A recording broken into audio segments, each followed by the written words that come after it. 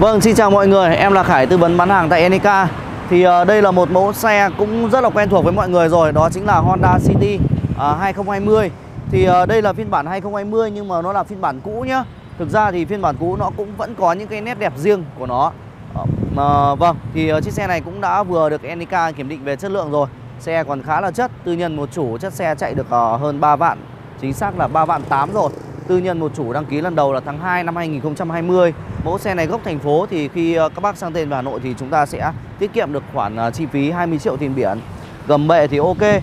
Và mẫu xe này nhá, bác chủ xe cũ thì ờ, mới thay cho nó 4 quả lốp 4 quả lốp mít nhá. Vào tuần thứ 24 năm 2022 Tuần thứ 24 năm 2022 Đây, tuần thứ 24 năm 2022 4 quả lốp Michelin luôn. Chạy rất là sướng, êm ái. Tiếp theo nữa thì ờ, bác chủ xe cũng đã đầu tư một bộ ghế da rất là xịn sò này Làm chống ồn hết cho xe rồi. Đó, Đầu tư khá nhiều vào cho chiếc xe này. Thì nó cũng là lợi thế của các bác khi mua mẫu xe này. Đây chúng ta nhìn thấy lốp của nó này. Còn dày bịch luôn.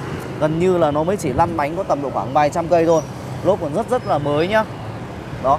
Thì đây là phiên bản CVT hay mọi người còn gọi là bản thiếu. Nó thiếu so với bản top là đèn pha thì nó chưa được trang bị là đèn led, Nó chỉ là đèn halogen thôi. Vẫn có giải đèn led định vị ban ngày đây. Nhìn về phần đầu xe thì nó chỉ có khác biệt giữa bản ờ, top và bản CVT thì ờ, đèn led và đèn ờ, halogen bình thường. Ở đây thì chúng ta nhìn thấy cái phần đèn gầm hay còn gọi là đèn phá xương. Thì cái này bác chủ xe cũng nâng cấp nó lên thành dạng uh, bi cầu rồi. Đó, bi cầu nhá, dạng led luôn. Rồi, xin mời mọi người sang phần phía thân xe này.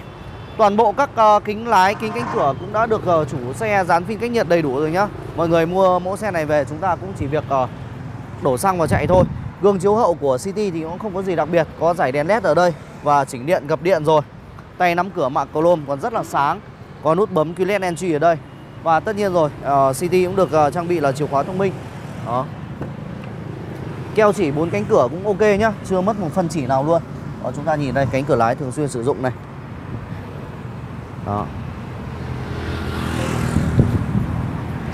Rồi cái phần nội thất của mẫu xe này thực sự là đây, em Khải rất là chi ưng về cái bộ ghế da mà bác chủ xe đầu tư cho chiếc xe này. Chúng ta nhìn đây. Ghế rất là xịn luôn nhá. Đây chỉ là da bọc thêm thôi. Nguyên bản của mẫu xe phiên bản CVT này được trang bị là ghế nỉ. Nhưng ở đây thì bác chủ xe đầu tư cho nó một bộ ghế da rất là xịn sò màu nâu cà phê. Nhìn nó thực sự là rất là sang trọng và đẳng cấp. Uh, City thì ờ, cũng hay là một cái ờ, được trang bị cửa gió điều hòa ghế thứ hai ở đây. Tất nhiên rồi hôm nay thì trời nó cũng đang rét như này nên là cũng không thể cảm nhận được điều hòa mắt lạnh hay mắt sâu. Ở tiếp theo nữa phần trần xe này thì bác chủ xe cũng đầu tư thêm bộ trần 5D thì nó sẽ bảo vệ chống nóng cho chúng ta vào thời tiết mùa hè. Đó. Ở đây cũng ờ, khá đặc biệt thì chúng ta nhìn ờ, cánh cửa đằng sau. Đặc thù của tất cả các dòng xe City thì ờ, đều có những đánh dấu sơn phẩy của nhà sản xuất này. Nó rất dễ nhận biết là xem cửa có tháo ra không mà kể cả có tháo ra thì nó cũng chẳng vấn đề gì, nhưng ở đây thì chúng ta nhìn cánh cửa hàng ghế thứ hai chưa bị tháo ra còn rất là chất rồi thì chủ xe đã làm chống ồn rồi nên là những cánh cửa này chúng ta đóng nghe nó chắc hơn rất là nhiều nhá về tổng thể ngoại thất của mẫu xe này thì nó chỉ có vài một vài cái vết sức răm thôi. Nó không có gì bị ảnh hưởng đáng kể theo thời gian cả. Xe được trang bị bốn mắt cảm biến lùi này cam lùi zin theo xe này. Đèn chiếu hậu vẫn nguyên bản nhá chưa bị nứt vỡ gì. Rồi ở đây thì chúng ta nhìn có một cái cánh lướt gió thể thao. Cái này là do chủ xe lắp thêm nhá Nguyên bản thì nó không có. Đó, cũng ờ, đầu tư khá khá option cho mẫu xe này.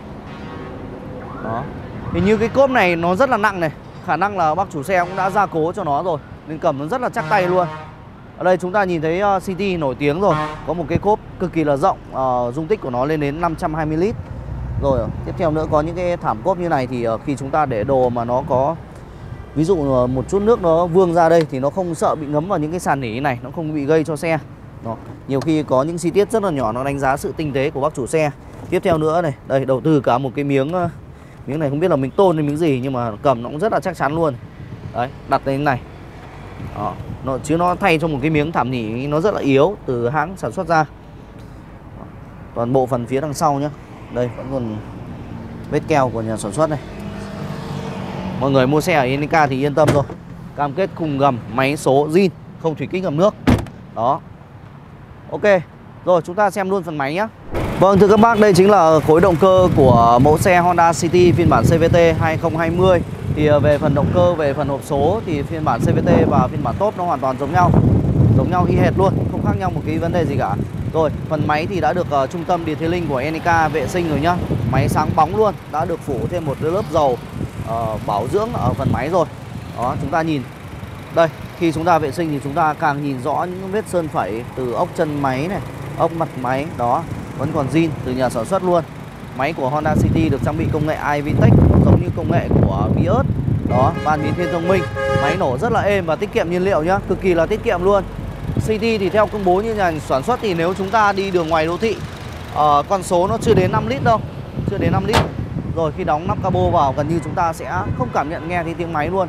Máy nổ êm du và chúng ta sờ vào phần nắp cabo này không cảm nhận thấy độ rung của máy. Đó đó chính là sự khác biệt của những dòng xe Nhật. Phần cuối cùng phải muốn giới thiệu cho mọi người đó chính là phần nội thất của mẫu xe này. Xin mời các bạn. Ok, bước vào trong khoang nội thất của City Cảm nhận đầu tiên đó chính là sự rộng rãi của mẫu xe này. Mặc dù chỉ là phân khúc hạng B thôi Nhưng mà mẫu xe này thuộc trong top hàng đầu trong phân khúc Về sự rộng rãi và ngồi thoải mái. Đó uh, Option thì cũng được trang bị cũng khá khá nhé Chúng ta tìm hiểu qua một chút này. Đầu tiên là hệ thống giải trí của nó là có một màn hình LCD tích hợp cam lùi ở đây. Đó, đây. Cam lùi này có cả cảm biến lùi nhá. Cam lùi là ba góc chiếu chúng ta có thể tùy chọn các uh, vị trí nhìn như này. Các góc nhìn rất là ok luôn.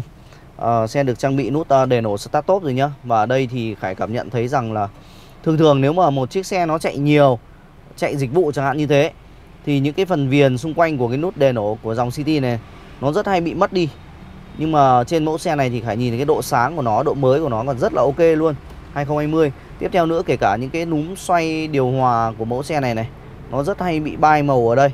Đó Thậm chí là nó còn bị đen đen đen ở cái phần viền bạc này.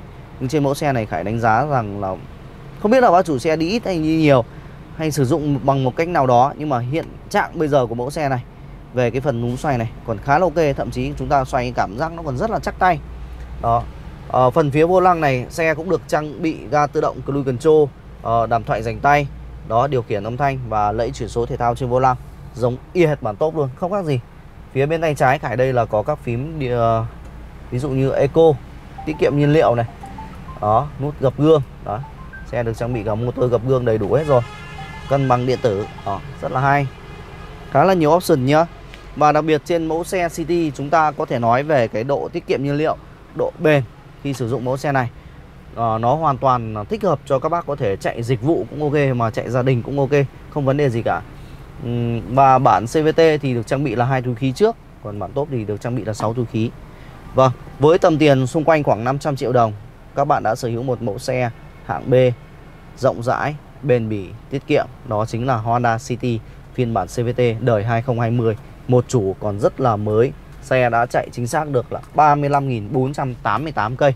Các bạn quan tâm mẫu xe này hãy gọi ngay cho em Khải nhé. Xin chào và hẹn gặp lại ạ.